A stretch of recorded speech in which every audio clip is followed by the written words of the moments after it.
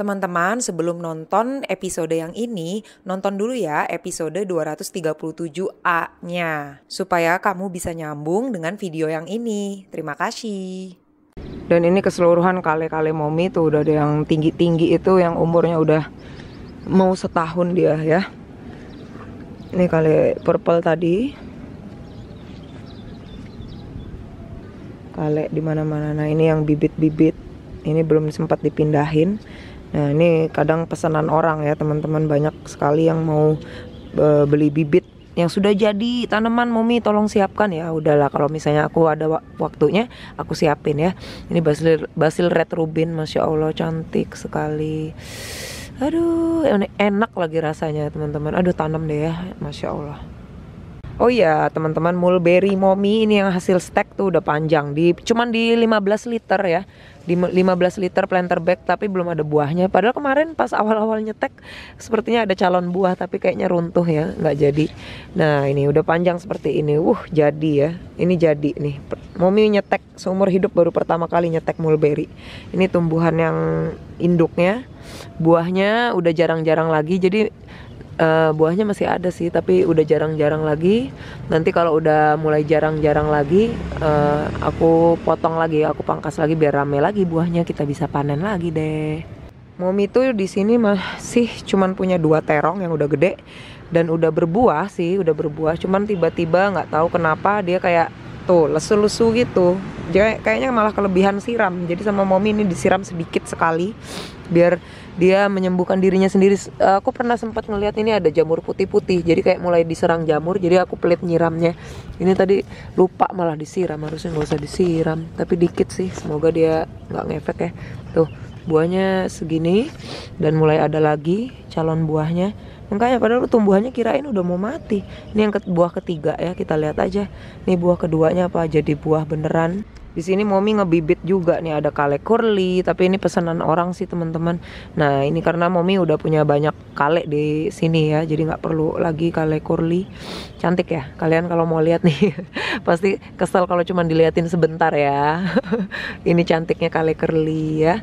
Uh kalau udah gede nih, masya Allah, cantik sekali nih ya. Nah ini uh, terong nggak tahu nih tumbuhnya agak lama ini kayaknya si terong pondoh ya. Umi sempat nanam terong pondok tapi banyak yang nggak tumbuh. Ini satu doang nih kayaknya tumbuh. Sekarang kita beranjak ke cabe ini. Ingat nggak waktu dulu tak episode 214 ya atau 215 nih cabe nya masih kecil ya mau tunjukin di layar kecil dengan mulsa eh, daun-daun uh, kering sangat banyak dan sebelumnya tanahnya itu dikasih gedebok pisang dan sekarang hasilnya seperti ini ciplukannya udah nggak ada tapi ada tumbuh tuh dikit satu di situ. Labu madunya udah nggak ada karena ini sempat ditumbuhin bareng labu madu. Ingat nggak kalian? Dan sekarang kita lihat buahnya. Ini ada dua tanaman cabai dalam satu pot. Beli di Esa Hardware sih ini potnya uh, 60 liter kalau nggak salah ya. Nah ini dia cabenya. Masya Allah. Dulu ingat kan teman-teman? Cuman satu cabenya tapi Momi sangat percaya dengan uh, usaha Momi untuk menyuburkan tanahnya dan memberikan hak dia kena sinar matahari. Nah ini hasilnya sekarang buahnya udah nggak bisa Momi hitung lagi teman-teman. Masya Allah. Allahu Akbar. Sebelumnya buahnya bisa dihitung, sekarang udah nggak bisa dihitung. Tuh dia beneran menyusul uh, cabe yang di pot satunya. Tuh ini, nah ini panjang kayak gini nanti kalau udah dipanen aku potong, aku pangkas saja wah udah dimakan seseorang di sini. Pasti itu yang makan apa namanya burung teman-teman ya.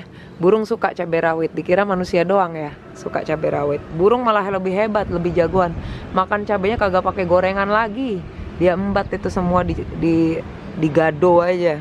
Hebat kau burung ya. Tuh lihat ya. Jadi kalau kita telat panen burung yang makan nggak apa-apa Momi masih punya banyak sekali di freezer. Bahkan ini kalau panen aku mau kasih tetangga aja karena masih banyak hasil panen sebelumnya. Tuh ini pohon yang satunya ya ini belum terlalu buahnya banyak tapi insya Allah bakal menyusul. Oh nggak ding. Ini ini buahnya dia ding. Ini buahnya yang pohon satunya ini. Masya Allah subur ya. Semangat bagi kalian yang nanam cabai cukup suburkan tanahnya uh, terus kenain sinar matahari kata orang sih nggak terlalu full juga nggak apa-apa bahkan cabai cabai rawit itu. Tapi aku di sini full sekali dari pagi sampai sore. Ya hasilnya seperti ini. Alhamdulillah udah mulai masuk musim hujan dia nggak terlalu panas. Insya Allah makin bagus lagi nanti nih buahnya ya. Alhamdulillah ya. Terus abis kalian berusaha pasrahin ke Allah hasilnya ya Nah ini cabai yang pertama kali Momi punya. Nah ini juga udah mulai rame buahnya. Tuh kalau menginjak mau musim ding dingin lagi musim dingin. Musim mau hujan ini kan udah September Jadi cuacanya nggak begitu panas ya. Walaupun hujannya baru dikasih sekali sama Allah kemarin. Eh kemarin-kemarin lah Tuh. Tapi belum deres-deres gitu banget. Nah ini mulai cerah dia ya. Tuh lihat buahnya. Uh udah mulai banyak lagi tapi kecil-kecil teman-teman ya. Nggak nggak segede yang tadi dan nggak segede yang dulu itu Mumi pernah panen tuh. Kecil-kecil ya kuntet-kuntet.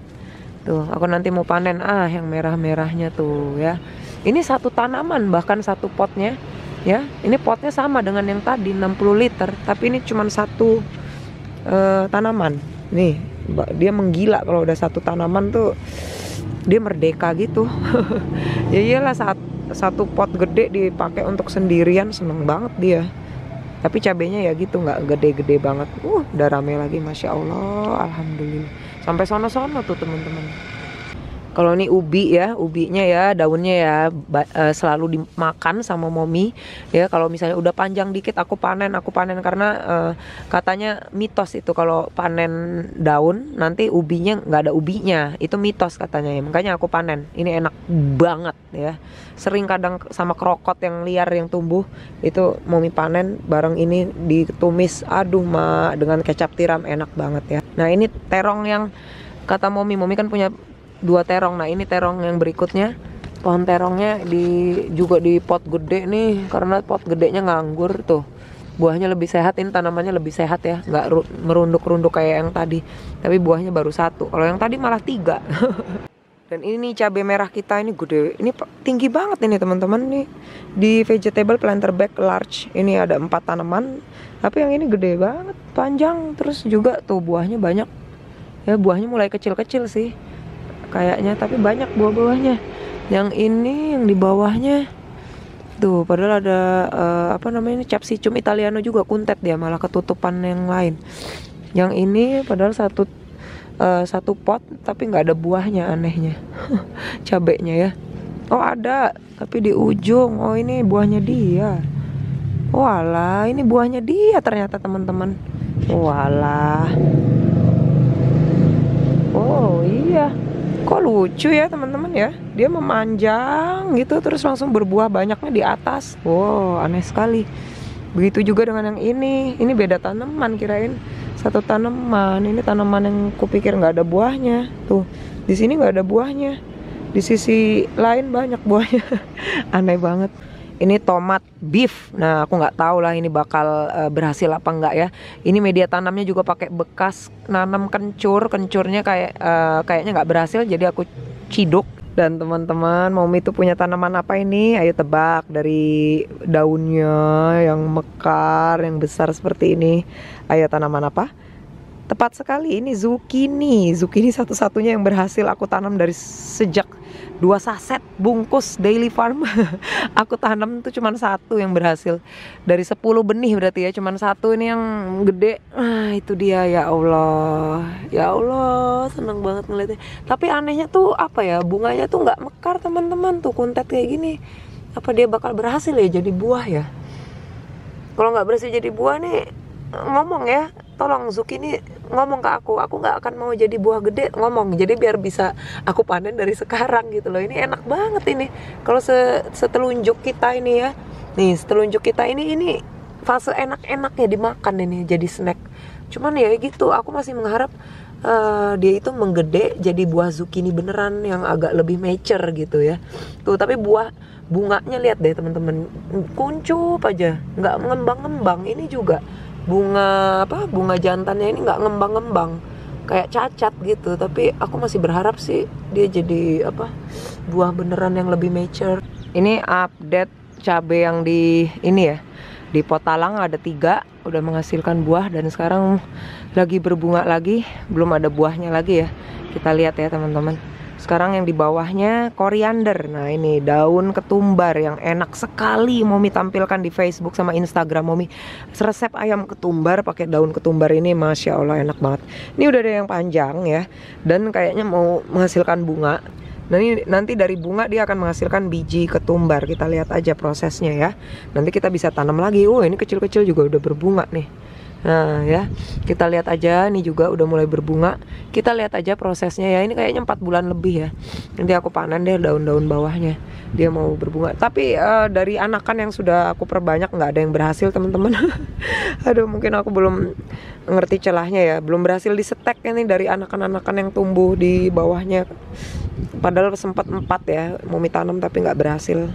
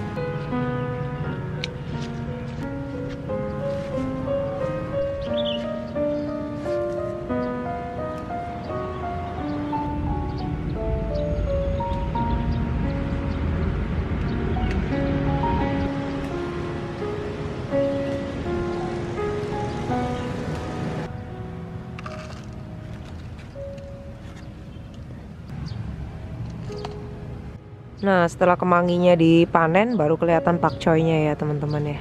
Uh.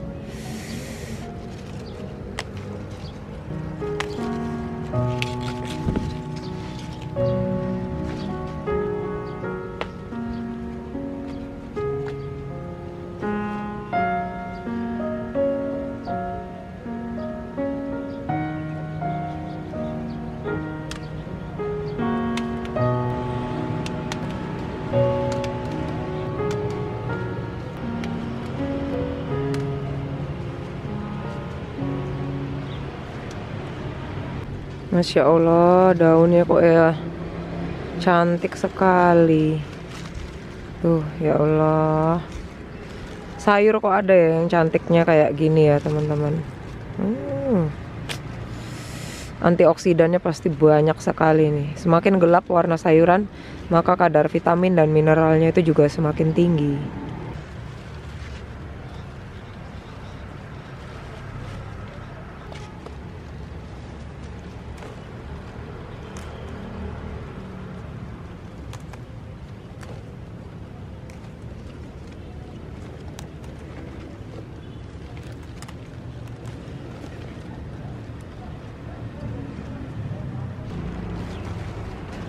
Teman-teman uh, dari kemangi yang banyak tadi yang sudah dipanen ini sebagiannya yang batangnya pendek-pendek. Nah, ini aku taruh begini aja di suhu ruang ya, di angin-anginin kayak gini aja ditaruh di kardus.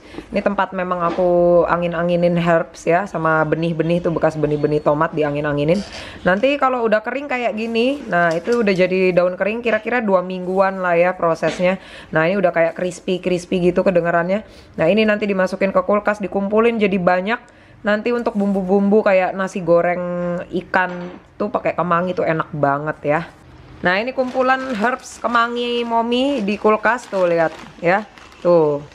Sudah segini banyaknya dari remah-remahan seperti ini tidak pernah dibuang, dikumpulin lumayan untuk nanti nasi goreng kemangi pakai bumbu ini. Dan ketika kita udah nggak menanam kemangi di kebun, kita masih punya ya. Bisa banget pakai kemangi kering seperti ini untuk kayak apa ayam rica-rica ya apa pun lah yang untuk perlu kemangi bisa pakai uh, herbs kering seperti ini ya. Nah sisanya aku taruh yang masih seger-seger ini yang batangnya agak gede-gede, aku taruh di aduh malu itu apa cucian bajuku. Nah ini aku taruh di dalam uh, kotak seperti ini, bawahnya dikasih air sedikit, jangan banyak-banyak nanti malah busuk. Nah jadi dia segar sampai besok kira-kira ya. Ini untuk ngelalap-lalap nanti kalau kita mau makan ayam pakai sambal, aduh enak banget ya. Tadi kelupaan panen seledri teman-teman nih lihat seledrinya. Uh, udah gondrong banget. Nah, ini masya Allah ya. Ada dua nih di pot seperti ini berapa uh, panjangnya aku nggak ngitung ini satu pot ada dua tanaman tuh lihat ya masya allah oke segini teman-teman. Uh, panen seledri kita waduh lumayan banyak ya. Tuh padahal dari dua pot doang alhamdulillah. Nah ini kak Kimi yang lagi mau coba penasaran mau masak nasi goreng seledri sendiri nih guys. Bumbunya tuh satu orangnya cuman bawang bawang bombay bawang putih sama cabe dan seledri tadi. Sama garam lada udin uh, oh sama itu ayam giling ya. Ayam giling atau ayam yang daging ayam yang dipotong-potong aja boleh masukin sekarang bawang bombaynya nah, jadi bawang bombay bawang putih dan cabai sudah di wajan ya guys pakai minyak ini weekend hari Sabtu jadi kita makan bebas ya. Nanti sore kita makan Indomie biasanya. Ini daging gilingnya tuh. Aduh, semutnya datang terus. Bukan daging giling, daging potongnya nih teman-teman. Nah ini slidernya udah dipotong-potong, dirajang-rajang. Ini porsi untuk satu orang ya. Jadi kalau kalian punya tanaman seledri terlalu banyak, ini nih solusi banget untuk make daun seledri sebanyak mungkin. Karena makin banyak seledrinya, makin enak nasi goreng kita. Ya.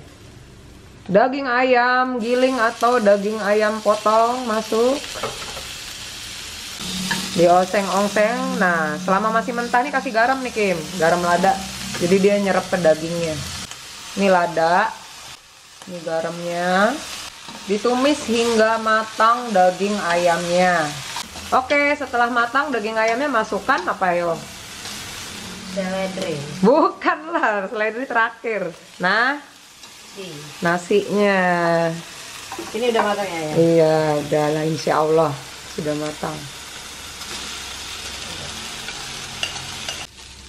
diongseng-ongseng nasinya.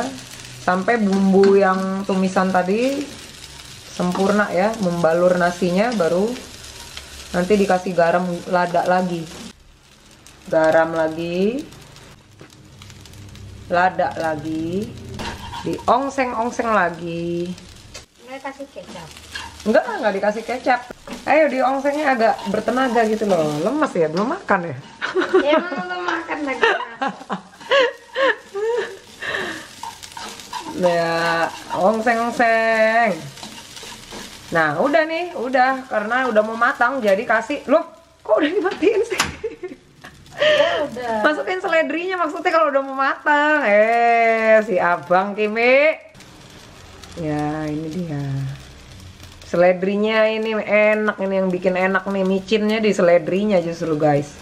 Jadi nggak pakai kecap, kok bisa enak? Yo enak coba, cobain sendiri deh kalian ya. ya sekarang banyak kan nggak pakai kecap. Iya, ini nasi goreng putih ceritanya ya Kimi. Itu Ayo Kim yang kayak model-model chef dilempar-lempar nasinya. Iya, berat banget. Berat ya. Oh itu emang harus yang ringan. Iyalah masa kayak gini mau di. Nah tuh udah udah matang nggak tuh? Nah udah aduk aja tanpa kompor. Diaduk-aduk. Eh kamu nggak cobain dulu? Coba tahu kurang garam. Waduh nyosor guys mulutnya guys. Gimana? Kurang garam banget. Kurang garam banget. Hmm.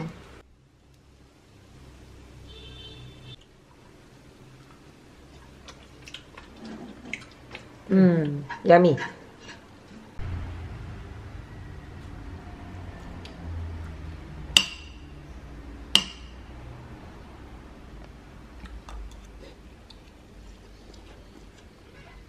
Hmm.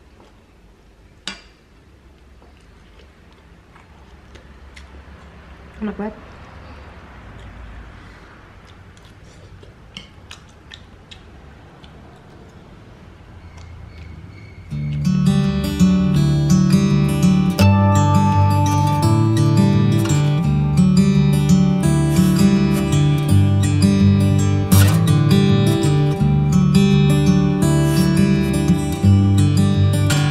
jangan lupa kasih tahu netizen cabai sekarang 15.000 lagi murah karena musim kemarin